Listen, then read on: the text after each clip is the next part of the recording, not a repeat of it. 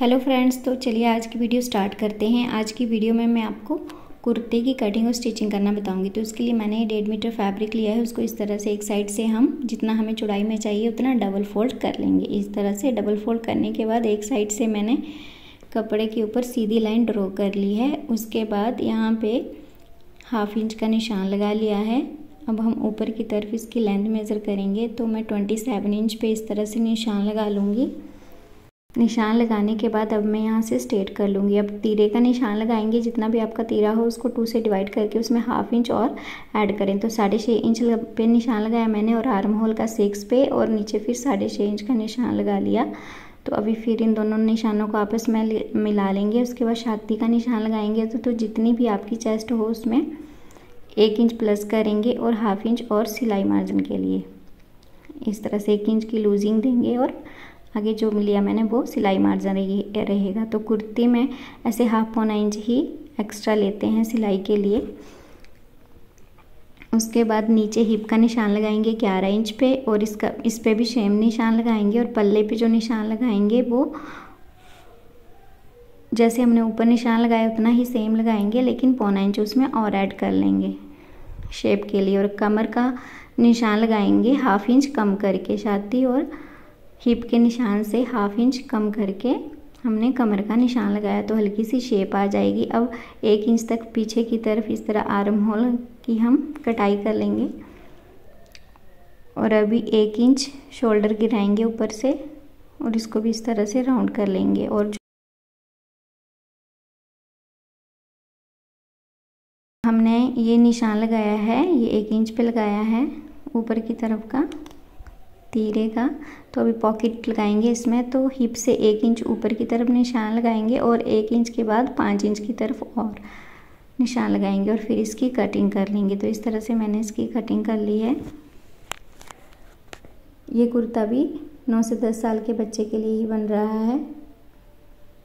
अभी जो कपड़ा बचा था, उसको भी इस तरह से हमने फोल्ड कर लिया है। उसके बाद हमने आगे वाले पल्ले को इसके ऊपर रख लिया है। अभी हम बैक पल्ला कट करेंगे तो उसके लिए जो निशान ये था हमारा पहले आर्म होल का, उसको इस तरह सीधा कर लेंगे क्योंकि हमने आगे वाले पल्ले को आगे की जो हम कटाई देते हैं वो दे दी है। अब टू इंच हम इस तरह ऊपर की तरफ़ उठा लेंगे इसको। तो ये सवा दो इंच पे मैंने नेक की चौड़ाई का निशान लगा दिया तो इस तरह से हम ये अपने निशान सीधे कर लेंगे और साढ़े छः इंच नाप के यहाँ पे भी तीरा ले लेंगे और अब इन निशानों को इस तरह सीधे मिला लेंगे। अभी ये बैक वाले पल्ले की गुलाई आ जाएगी तो हमने अगले वाले पल्ले को, आगे वाले पल्ले को पहले ही शंटाई दे दी थी। अब हम कटिंग करेंगे। ऊपर से ये जो हमने अभी शेप दी, उस शेप से कट करेंगे इसको, बैक वाले पल्ले को। तो ये यहाँ से कट होगा इस तरह से।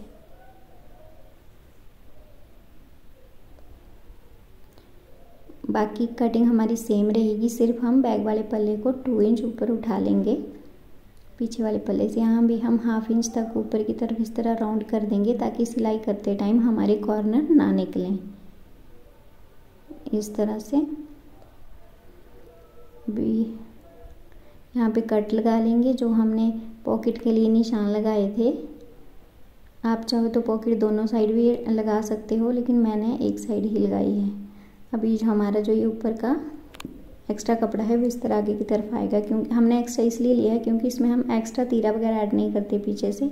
तो अभी ये नेक की बिड्थ लिए मैंने ढाई इंच सॉरी सवा दो इंच और जो गहराई ली है बोलिए ढाई इंच। अब उसको इस तरह से शेप दे देंगे और पीछे वाले नेक की जो गहराई है वो मैंने डेढ़ इंच ही ली है। तो इस तरह से इसमें बैन लगेगी, तभी हमने पीछे वाले नेक को इस तरह काटा है।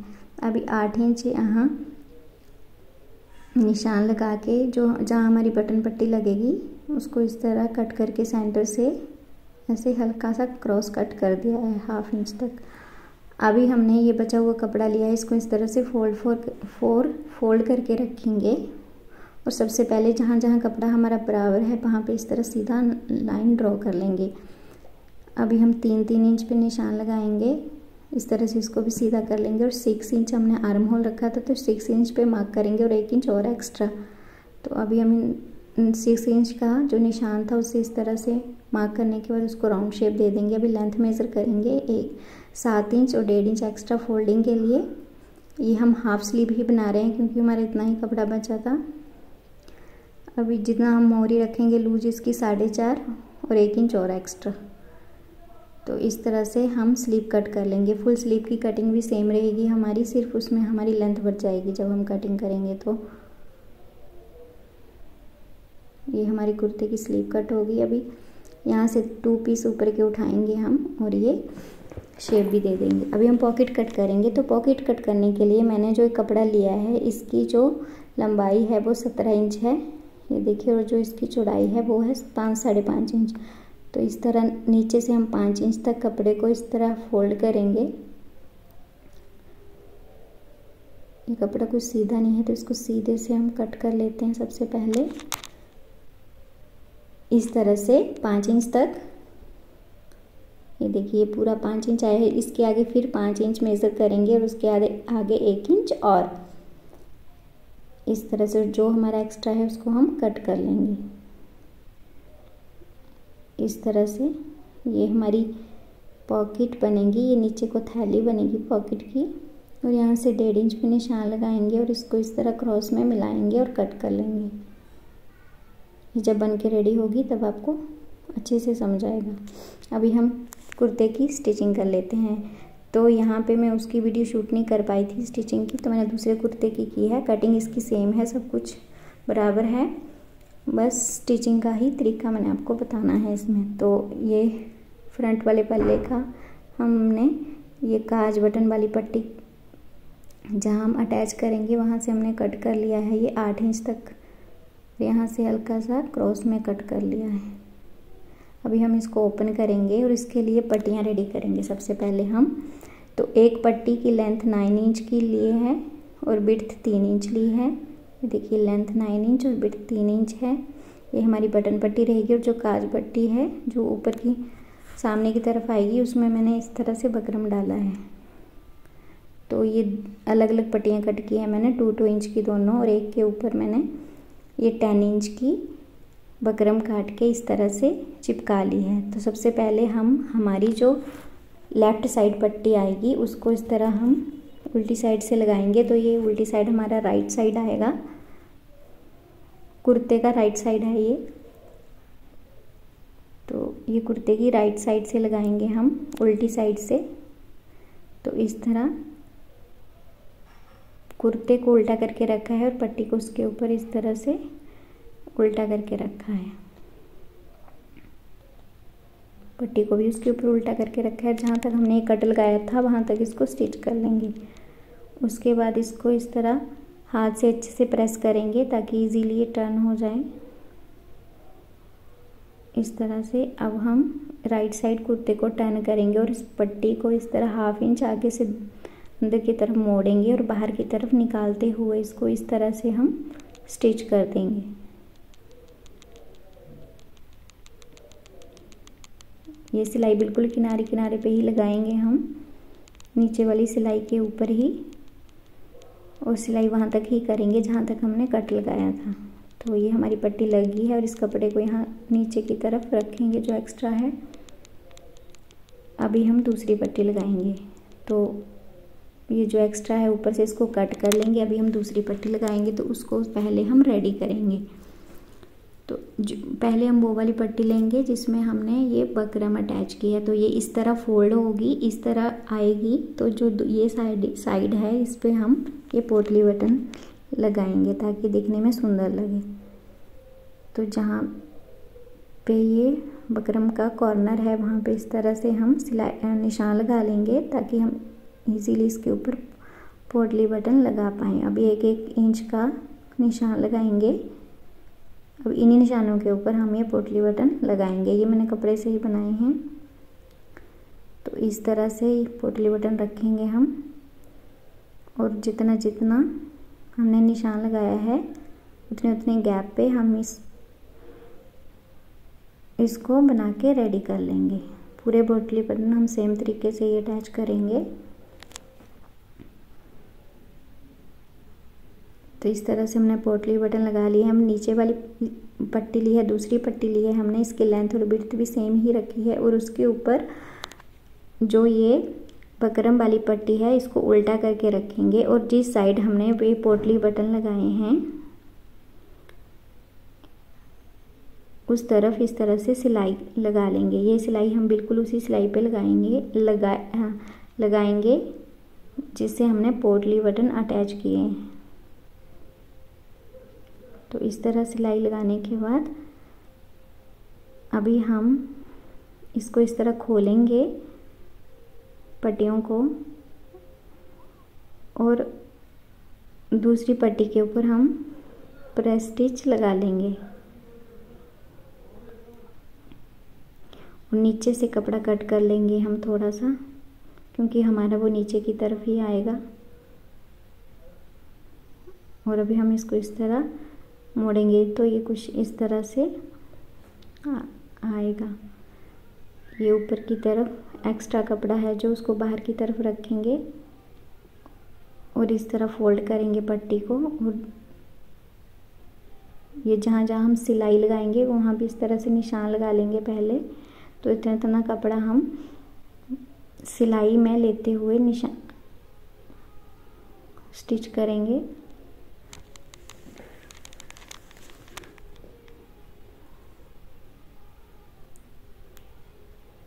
इस तरह से अभी जैसे जैसे हमने नीचे निशान लगाया है, उसी निशान के ऊपर हम ये सिलाई करेंगे और ये सिलाई हम उस कट तक ही करेंगे जहाँ जो हमने लगाया था।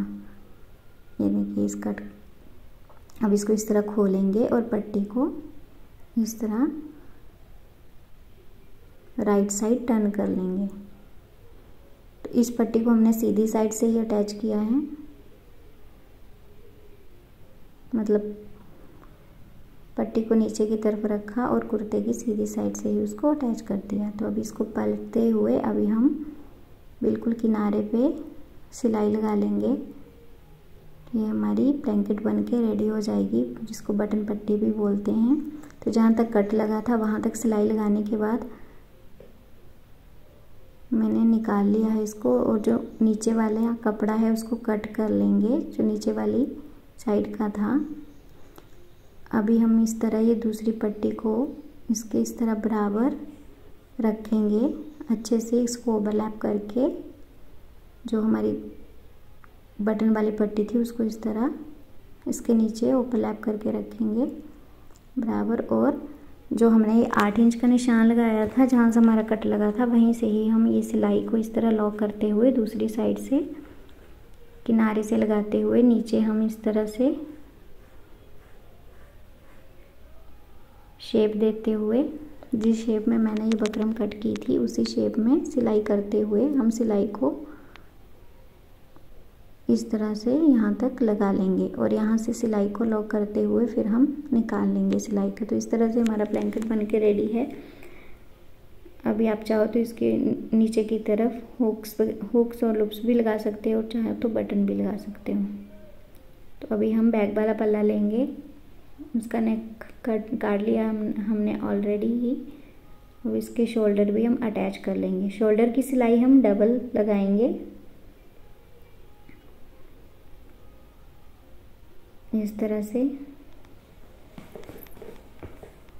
अभी हम इसके लिए बैन कॉलर रेडी करेंगे। तो सबसे पहले हम इसको डबल फोल्ड करते हुए रखेंगे और इसका मेज़र करेंगे नेक को कि ये राउंड में कितना हुआ। तो ये हो रहा है सवा सात इंच तो अभी हम ये बुकरम पीस ले लेंगे। इसको मैंने सोलह इंच लिया है और उसको डबल करके रख लिया है। तो डबल करने के बाद ये आठ इंच आया। अब यहाँ हम ढाई इंच का निशान लगा लेंगे।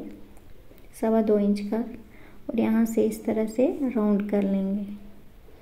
इसकी जो चौड़ाई है वो तीन इंच है।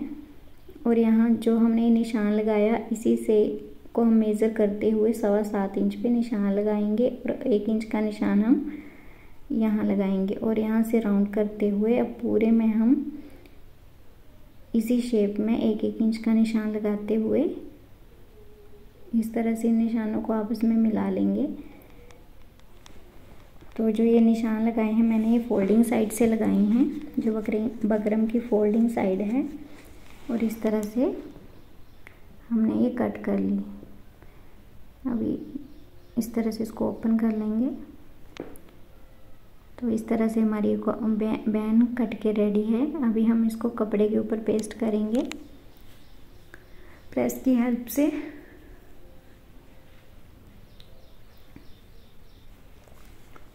इस तरह से कपड़े को रखेंगे उल्टी साइड से और इसके ऊपर हम इसको पेस्ट कर लेंगे। प्रेस की हेल्प से। तो पेस्ट करने के बाद मैंने दोनों तरफ़ हाफ़ हाफ़ इंच कपड़ा छोड़ते हुए एक्स्ट्रा कपड़े की कटिंग कर ली है। अब नीचे की तरफ़ हम ये प्लेन वाला फैब्रिक लगाएँगे। तो यहाँ से स्टिच करना शुरू करेंगे हम बकरम के साथ साथ। हल्का सा बकरम के ऊपर ऊपर लगाएँगे हम क्योंकि हम ऊपर की तरफ़ पाइपिंग निकालेंगे। तो हल्का सा बिल्कुल एक एक पॉइंट बकरम के ऊपर लगाते हुए हम सिलाई को कंप्लीट कर लेंगे इस तरह से एक कॉर्नर से दूसरे कॉर्नर तक। और अभी हमने ये नीचे से फोल्ड नहीं किया है तो इसको भी हम पहले फोल्ड कर लेते हैं। ये वाला कपड़ा। अब पहले ही फोल्ड कर, करके ही लगाइएगा ये सिलाई।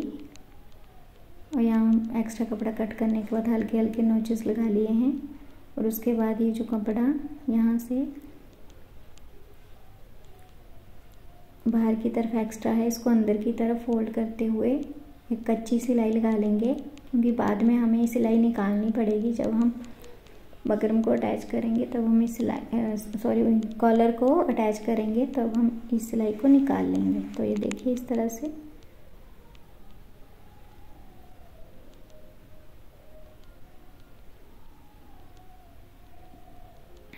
हम यहाँ इसके ऊपर इस तरह से सिलाई लगा के सिलाई को लॉक कर लेंगे दोनों साइडों से। अभी हम इस तरह से इसको राइट साइड टर्न कर लेंगे कॉलर को। और अच्छे से प्रेस कर लेंगे। तो प्रेस करने के बाद हम इसका इस तरह से सेंटर कर लेंगे और नेक का भी सेंटर कर लेंगे। नेक का सेंटर करने के बाद सेंटर से सेंटर मिलाते हुए हम बैंड को अटैच करेंगे। और हम इस तरह निशान लगा लेंगे, जितना जितना कपड़ा हम सिलाई में लेंगे, उस पर हमने इस तरह निशान लगा लिया। उसके बाद हम इस तरह से इसको पूरे राउंड में अटैच कर लेंगे। जैसे एक साइड से अटैच किया, सेम तरीके से वैसे ही दूसरी साइड भी हम इसको अटैच कर लेंगे।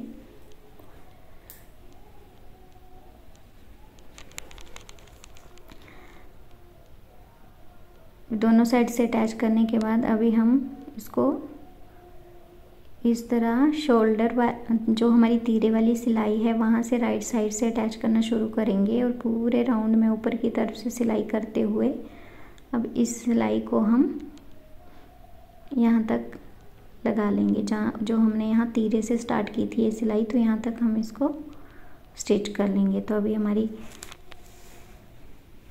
कॉलर भी लग के रेडी है। अभी एक साइड की फिटिंग हमने कर ली है। उसको पहले इस तरह सीधी साइड से एक एक, एक पैर का मार्जिन रखते हुए हमने स्टिच किया और उसके बाद वो सिलाई गुम हो गई तो हमने हाफ़ हल्का हल्का मार्जिन दबाते हुए इसकी फिटिंग भी कर ली। लेफ़्ट वाली साइड से और राइट वाली साइड में हम पॉकेट लगाएँगे तो ये हमारे पॉकेट वाले निशान हैं। तो पहले हम उतना ऊपर की तरफ़ से यहाँ तक स्टिच करेंगे। यहाँ से हम सिलाई को लॉक करते हुए फिर से स्टिच कर लेंगे। और फिर ये जो नीचे हमने गैप छोड़ा था एक इंच का हिप से ऊपर की तरफ़ को हिप के निशान से ऊपर की तरफ़ से, उसको भी इस तरह स्टिच करके लॉक कर लेंगे। अब जो हमारा ये बीच में ओपन बचा, इसमें हम पॉकेट लगाएँगे। तो ये हमारी पॉकेट है। सेम तरीके से कट किया हमने। तो सबसे पहले इसके साइडों में सिलाई लगाएँगे।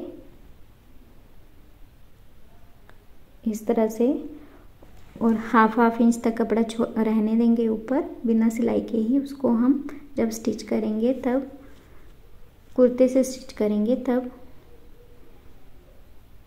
उसमें बताएँगे हम आपको उसको कैसे रखना है। फिर वहाँ से अभी कुर्ते को इस तरह ओपन करने के बाद जो हमने ये ओपन छोड़ा था पाँच इंच का गैप इसको इस तरह फोल्ड करके डबल फोल्ड करके स्टिच कर लेंगे हम।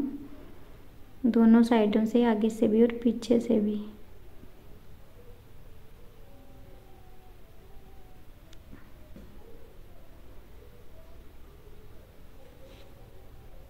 इस तरह से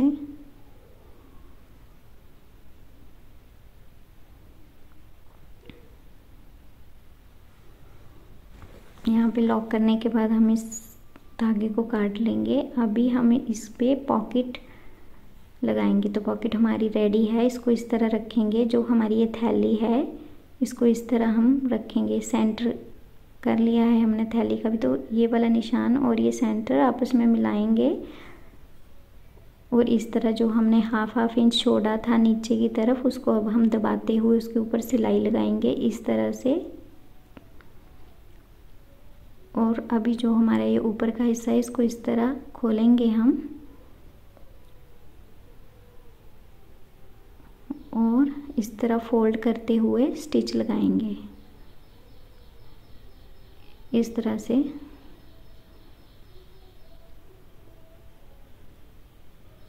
जिस तरह से शेप हमने कट की थी, उसी तरह की शेप में फोल्ड करते हुए ये ये जो कौन है पॉकेट की, ये हमारी सिलाई और कौन आपस में इस तरह सेंटर में आनी चाहिए? इस तरह से ये कौन हमारी सिलाई, कौन और सिलाई आपस में मिलनी चाहिए? इस तरह से फोल्ड कर लेंगे जो दोनों साइडों से। अभी हम इसको यहाँ आके दूसरी साइड आके इस तरह लॉक करने के बाद सिलाई को निकाल लेंगे। तो इस तरह से हमारी पॉकेट अटैच हो गई है। ये देखिए, आप चाहो तो दोनों साइड भी इसकी पॉकेट लगा सकते हो। मैंने तो सिर्फ़ एक साइड ही लगाई है इसकी पॉकेट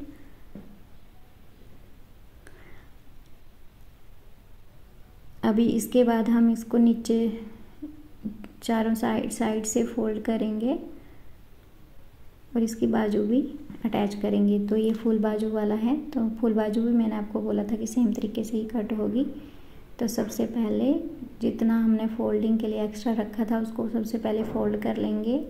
सेम तरीके से दूसरे को भी फोल्ड कर लेंगे और उसके बाद सीधी साइड से ही इस, इसको इस तरह एक एक पैर की सिलाई लगाएँगे। तो इस सिलाई को भी हम गुम करने वाले हैं तो अब इसको उल्टी साइड टर्न करेंगे इस तरह से। तो अभी जो हम निशान लगाएँगे वो मेज़र करके लगाएँगे फोर इंच मोहरी का निशान। और ऊपर की तरफ़ हम आर्म होल नापेंगे उसका, कितना हुआ? इस तरह से। तो ये हो रहा है पौने सात। तो यहाँ पे भी हम इस तरह पौने सात पे निशान लगा लेंगे। और अब इन दोनों निशानों को मिला के इस तरह इसके ऊपर सिलाई लगा लेंगे। तो सेम तरीके से दूसरी स्लीव पे भी अब हम स्लीव को राइट साइड टर्न करेंगे। और ये शेप वाली साइड हमारी आगे की तरफ़ आनी चाहिए। तो इस तरह से स्लीव को अंदर डाल के पूरा राउंड में हम स्टिच कर लेंगे। इसका ही मैंने नीचे से भी फोल्ड कर लिया है।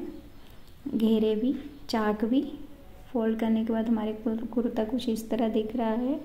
ऑप्सो आपको वीडियो अच्छा लगा होगा। वीडियो अच्छा लगा तो वीडियो को लाइक कीजिएगा। मैं इसकी फ़ाइनल लुक भी दिखाती हूँ आपको। तो ये रही कुर्ते की फ़ाइनल लुक। ये देखिए पहनने के बाद कितना सुंदर लग रहा है। वीडियो अच्छा लगा, वीडियो को लाइक कीजिएगा। मिलते हैं नेक्स्ट वीडियो में नई आइडियाज़ के साथ। तब तक के लिए धन्यवाद।